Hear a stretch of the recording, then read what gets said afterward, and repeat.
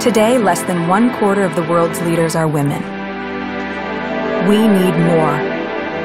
Because when women lead, the world changes.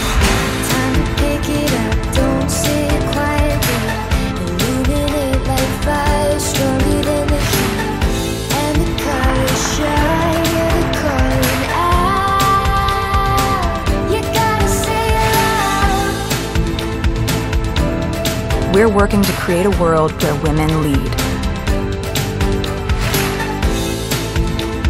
Support us at unwomen.org.